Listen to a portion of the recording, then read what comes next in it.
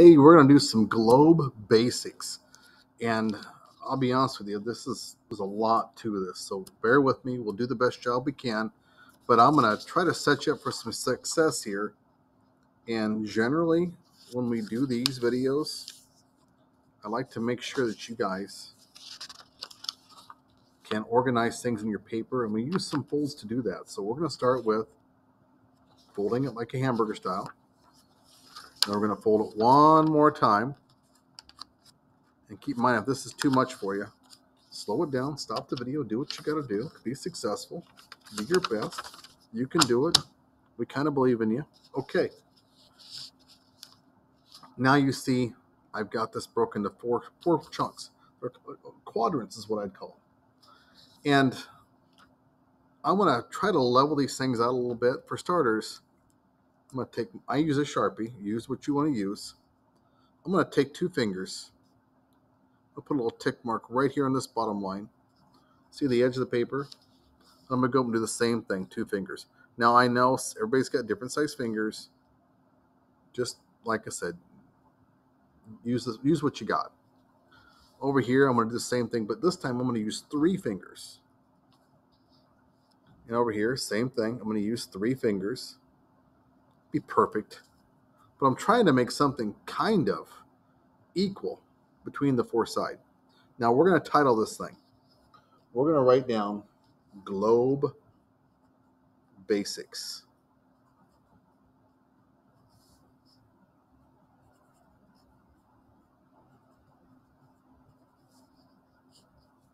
But my globe, I'm going to put in a kapow box because I'm going to talk about that in just a couple minutes here. Okay. A globe, in case you don't know, is a spherical, fancy word, a spherical shape of the earth.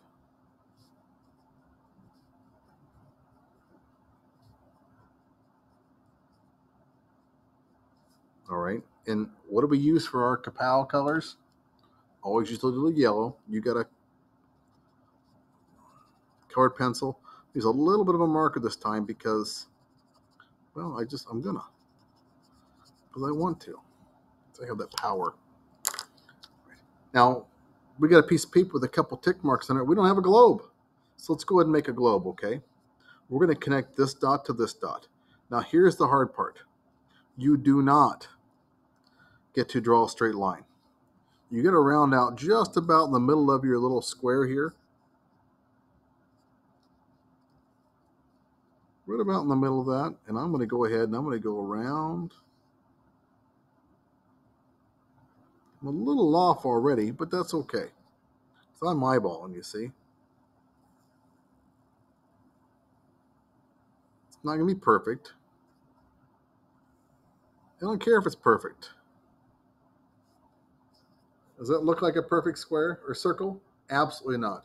But you know what? It's good enough for what we're going to do because we're not trying to make perfection. We're just trying to get a circle or kind of a circle. Because the globe is not a perfect circle anyway. In fact, the globe is actually wider than it is tall. If you don't know what that means, means there's an imaginary line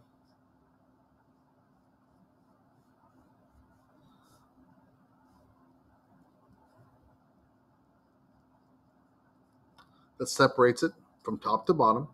This is what we call the northern hemisphere, which we can talk about later. This is the southern hemisphere. And this invisible line is something we call the equator.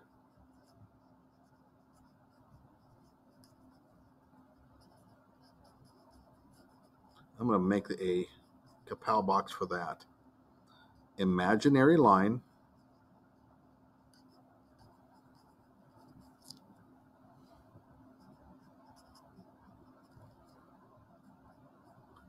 that divides the earth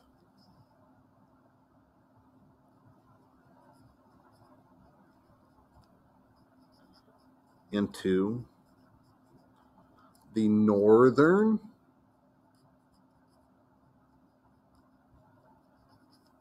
and southern hemispheres.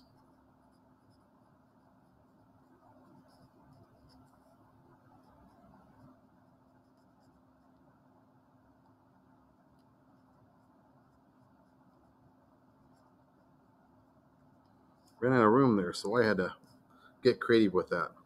And once again, that is a vocab word. So we're going to give that a little kapow box too.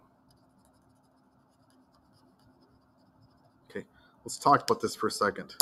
Imaginary line. You notice how I, I kind of beveled this? I kind of made it look like it was drooping a little bit. Well, because I want the, the Earth's round. It, it's got a shape. It's a 3D. If you kind of lower this a little bit and droop it like a hammock, it's going to look more 3D for you. And the equator is one of a number of lines that come this way. These lines are called latitude lines. I say latitude, latitude. I know other people have a better way of saying it, but I'm going to put a little, I call them memory boxes or think aloud boxes.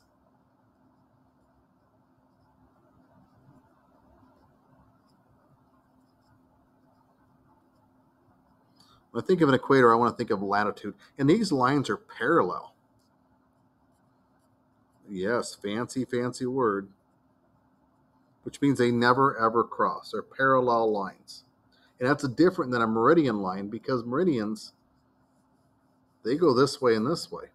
In fact, you may not know this, but the Earth balances on these little things called an axis. And that axis allows the Earth to tip back and forth, back and forth. And these imaginary lines, they do cross. They cross at two points. This is called the prime meridian.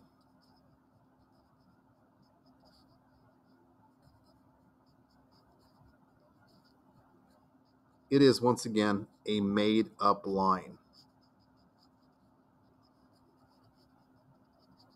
But this is an imaginary line.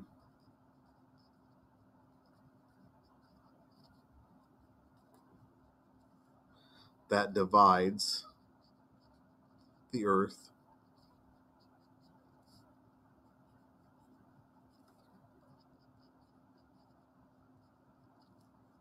into eastern in Western hemispheres.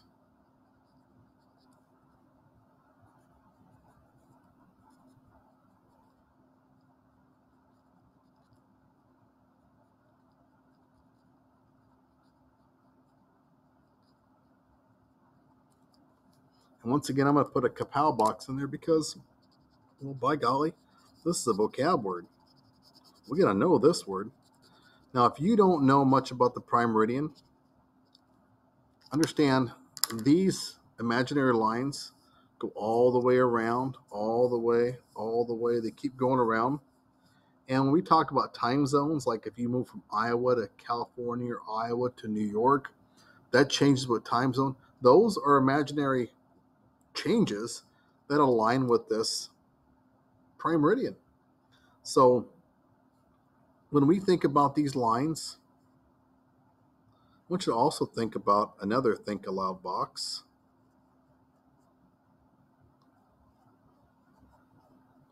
Longitude lines. Now, if you were to take these lines and connect them with your latitude lines, these little dots like that, these are called coordinates. And I'm not going to give this to you as a vocab word,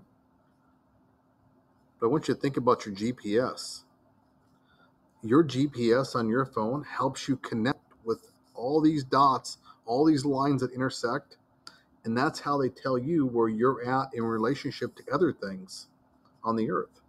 Because that GPS is connected to this little bitty satellite up here that goes around the earth, and it, it basically tracks you wherever you're at. So coordinates are an important thing, not just in the military, but they're in, in, important in a lot of things. And um, even if you're just trying to get from place to place and you don't know your own directions, that's what those GPS coordinates are all about. So we know we got a globe, spherical shape of the Earth. We know these prime meridian lines, the prime meridian versus the equator. And we don't have to do this, but I like to give a little color to these think aloud boxes. That way they kind of pop up the page a little bit. I know they're important to think about, like a little cloud. Okay. We good to go? We made it. We ready to keep going? Now I'm going to throw out something else to you. I've already mentioned these two ideas about a northern and southern hemisphere or eastern versus western hemisphere.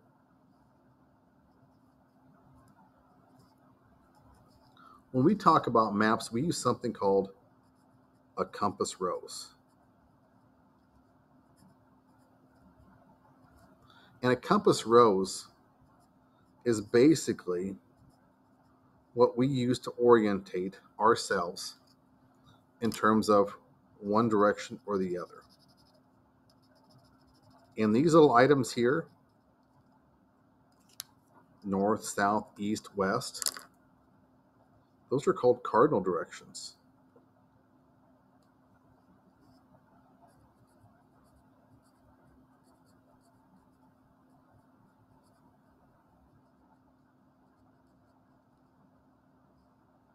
Now, don't ask me why they chose the word cardinal describe it because I'm going to show my ignorance and tell you I don't know.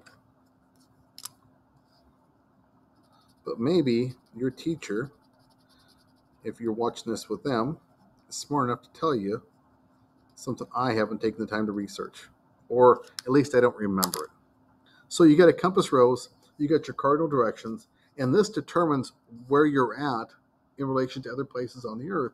So if you're in the northern part of the uh, the uh, world, you might be places like Europe or, or United States or, or Canada. If you're in the southern part of the world, you might be in parts of Africa or Antarctica or, or South America. Um, the compass rose helps us better orientate a map and figure out where those things are. So let's talk about places we are. All right, I'm going to draw this map. It's not to scale. Don't get panicked. You don't be perfect. But I'm going to draw this, and you tell me if you think this is what it's supposed to be. And I'm going to tell you that you need to give a shot and try to draw something too.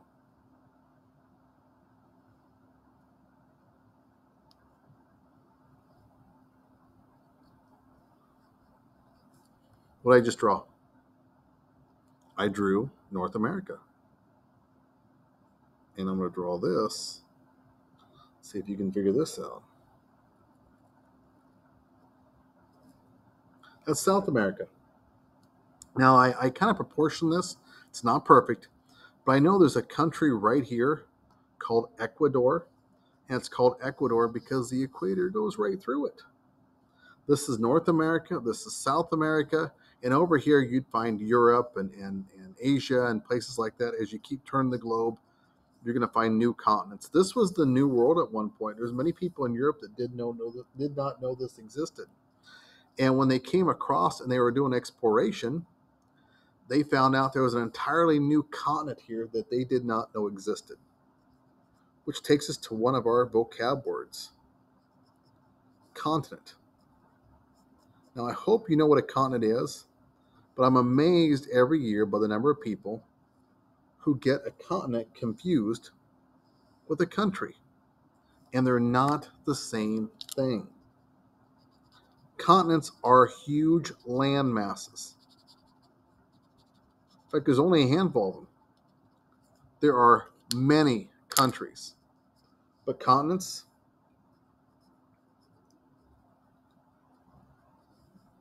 they're the largest mass masses of land on Earth. And just to make sure you understand this, a little think aloud box made by nature.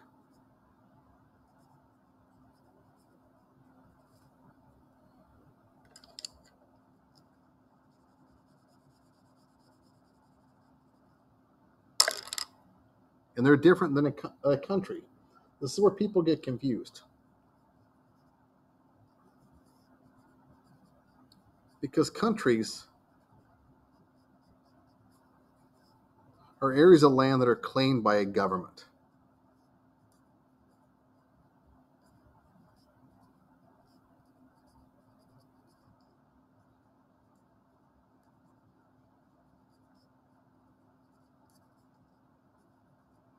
And I'm going to abbreviate the word government. But these ones, in case you don't know,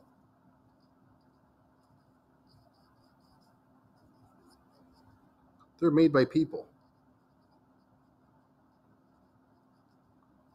Now, occasionally you'll find a country and you'll find a continent the same. And that's the part that confuses folks. But it's not the rule, it's just the exception to the rule. And the only exception I can think of that would say they're both the same thing is Australia. So you've got a continent and you've got a country. And a country, to give you an example of what that might look like, maybe it's the United States. Maybe it's Canada. Or excuse me, Mexico or maybe it's Canada. It could be any of those.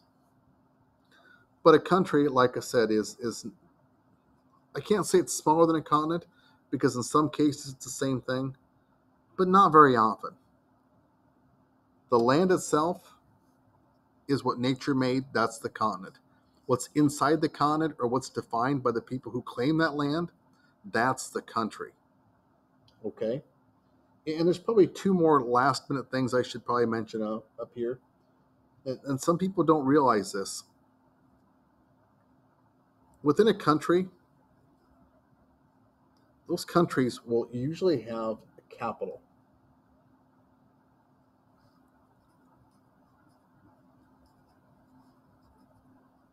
And a capital is a city, but a capital is not the same kind of city that other cities are. A capital is a unique kind of city because a capital is a city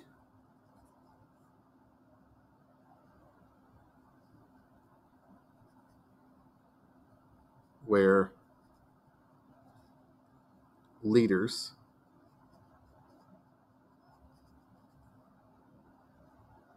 work to run a government.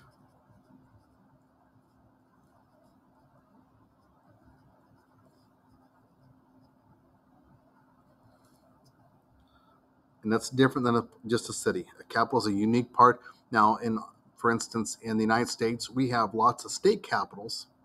Like in Iowa, the state capital is Des Moines. In in California, the state capital is Sacramento. In Texas, the state capital is Austin. But as far as our country goes, we have a one country, uh, we have a one capital, and that's Washington D.C. Okay, so understand the difference between a capital and a city, and, and you'll be fine with that in mind, just a quick review. We talked about a globe, how it's a big spear. We kind of drew these lines droopy or, or bubbled out to, to constitute the prime meridian and the equator, and we know what longitude and latitude lines are, and these do cross at the axis. And these, once again, are parallel, they never cross. We understand that these these lines help create a northern and a southern and a eastern and a western hemisphere. And without defining those, we know what our cardinal directions are. Compass rose the tool we use to show us directions. And within this globe, we've got things called continents, which are large land masses, and countries, which are not large land masses, but are areas that are claimed by government. One is made by people, one is made by nature. And every country will generally have a capital where their leaders work to run the government that controls that territory. That's it. If you have any questions, I'm sure you do. Do your best. And like I said, you can color this map up a little bit and give yourself some beautiful, beautiful look and shading, but don't make it too busy. Focus on the colors that are important, which are your kapow, um, green for transitions, red for conflict. If you do that, you're going to be a-okay. Me, I'm just silly and I like to make my poster a little bit prettier. Okay, that's it. Great job. Thank you very much for paying attention and uh, good luck.